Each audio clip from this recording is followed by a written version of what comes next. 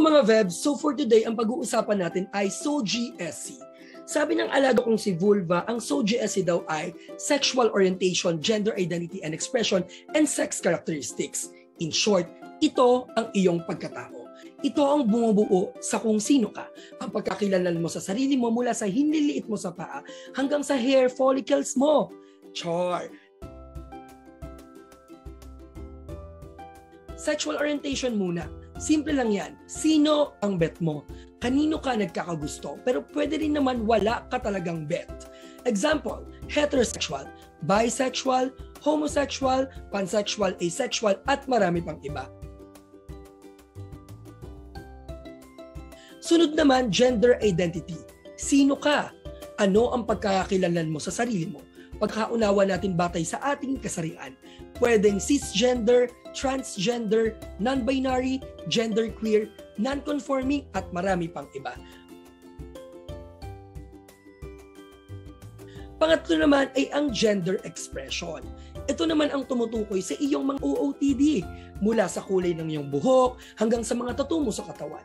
Pasok din sa bangang iyong mannerism at kilos. Basta kung saan ka komportable at kung paano ka rumarampa every day. Pwede itong masculine, feminine, or halo-halo na tinatawag nating androgynous. At ang huli ay sex characteristics. Ito naman ang sex organ sa pagitan ng hita mo, ang iyong hormones, anatomy, chromosomes, and genetics.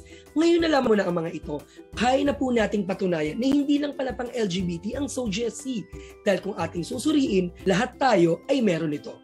So mga mahal, ang SOGI Equality Bill ay para po sa ating lahat.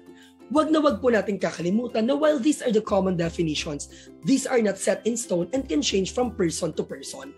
And lagi po nating tatandaan na do not assume. You cannot tell that someone is a member of the LGBTQ plus community just by looking at them. Anong magagawa natin? Maniwala tayo na hindi hiwalay ang struggle ng ating komunidad sa struggle ng lahat ng tao. Dahil LGBT rights are human rights. Hindi po tayo humihingi ng special treatment. At sa huli, sumama po tayo sa laban. Be a human rights advocate and fight for equality. Yun lang, salamat and love you.